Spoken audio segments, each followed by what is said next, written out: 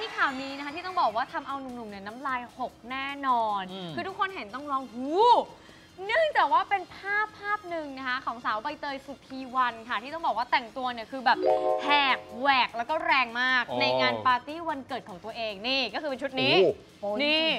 คือแหกจริงๆโอ้แบบแหวกแบบสุดเลยแบบซึ่งนี้ภาพที่เขาลงไม่ได้มีโมเสกถูกไหม ใช่ ไม่มีโมเสสคือเป็นแบบเรียวเลยนะคะ งานนี้พอชาวเน็ตเห็นเข้าแน่นอนมันก็ต้องเกิดดราม่าขึ้นมานะคะ ค่ะ โดยที่ชาวเน็ตเนี่ยก็เข้าไปวิพากษ์วิจารณ์ถึงชุดนะคะว่าเหมาะสมหรือเปล่า ครับ แต่ก็มีบางกระแสที่แบบว่า แซ่บจังเลย รวมไปถึงเพื่อนพ้องในวงการบันเทิงนะบางคนเนี่ยก็เข้าไปยกนิ้วให้กับความแซ่บกันเยอะ แต่ว่ามีหนึ่งคนค่ะที่เข้าไปคอมเมนต์นะคะ ดูเป็นคอมเมนต์ที่ค่อนข้างจะเห็นต่างจากคนอื่น นั่นคือคุณแตงโมนิดานั่นเองค่ะ โดยพี่โมเองเนี่ยมีการเข้าไปคอมเมนต์บอกว่า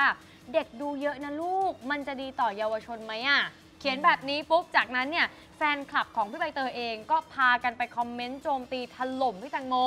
บางคนเนี่ยก็บอกว่าแล้วพี่แตังโมเนี่ยเป็นแบบอย่างที่ดีแล้วหรอ เนื่องจากว่าก่อนหน้านี้เนี่ยอะถ้าเกิดจำกันได้พี่โมก็คือเหมือนเคยถ่ายแบบแบบนี้มาก่อนนะคะ ล่าสุดค่ะเราได้ไปสัมภาษณ์พี่โมนะคะ หลายคนก็เลยเป็นห่วงว่า แบบนี้เนี่ยพี่โมกับพี่เตยเนี่ยจะมีปัญหากันหรือเปล่า เจ้าตัวจะว่าไงไปอัปเดตหน่อยค่ะ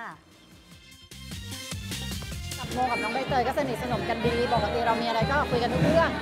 ไม่ว่าจะเรื่องธุรกิจเรื่องความสวยความงามแฟชั่นเสื้อผ้ากระเป๋ารองเท้า แม้กระทั่ง เรื่องผู้ชายเราก็คุยกัน คุยกันทุกเรื่องจริงๆ แล้วก็ฝากความคิดถึงถึงคุณป๋าคุณพ่ออะไรตลอดเวลา แล้วก็หมั่นกันอคอมเมนต์อยู่เรื่อยๆบ่อยๆ แต่ว่าไออันที่มันเป็นประเด็นขึ้นมาอาจจะด้วยความที่รูปนั้นเนี่ยมันฮอตมากจริงๆ รูปนั้นมันเป็นกระแสของน้องมากๆ แต่ตอนที่โมเข้าไปเมนต์เนี่ย ตอนนั้นน่ะยังยังไม่แบบน้องเพิ่งลงใหม่ๆเองมั้ง แล้วก็กลายเป็นว่าพอรูปเป็นที่สนใจมาก คนอาจจะไล่ดูว่ามีแบบนักแสดงคนไหนที่มาแสดงความคิดเห็นอะไรเงี้ย ใครที่ แสดงความคิดเห็นในทางที่สวนทางก็อาจจะแบบถูกหยิบขึ้นมาเป็นข่าวมันไม่มีเหตุผลที่จะไปเน็บน้องเขาในในคำพูดโมก็โมก็เขียนชัดเจนอยู่แล้วว่าเด็กๆดูอยู่เยอะนะ แล้วก็เยาวชนเนี่ยก็ดูอยู่เยอะมันจะดีต่อเยาวชนหรือเปล่า ซึ่งถ้าเน็บโมก็คงต้องบอกว่าขาขาสั้นอะชุดไม่สวยเลยหรือย่างเงี้ยแต่ว่า ไปทำให้เขาเสียเซลล์หรืออะไรเงี้ยซึ่งโมไม่ได้ไปไปมองถึงตรงนั้นเพราะว่าน้องเขาก็มีรูปร่างที่เซ็กซี่ของเขาอยู่แล้ว แต่ว่าความเซ็กซี่เนี่ยบางทีโมอะไปคำนึงถึงว่า พอเราเป็นแม่คนอะมันความรู้สึกมันจะแตกต่างจากเมื่อก่อนที่เราก็เป็นคนที่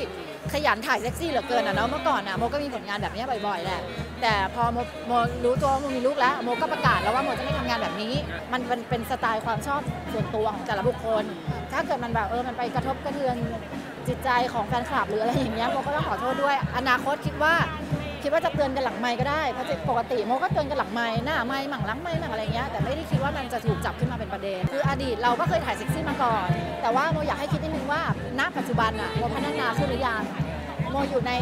สถานะที่พร้อมที่จะเตือนคนอื่นหรือเปล่า คือโมเองเนี่ยงดงานเซ็กซี่มาเป็นปีแล้ว อยากให้ทุกคนลองนึกดูเลยว่าเซ็กซี่ล่าสุดของโมอะเมื่อไหร่วะโมยังจำไม่ได้เลยอะมันนานจริงๆ เขารู้จักกันเขาเตือนกันอยู่เรื่อยๆอยู่แล้ว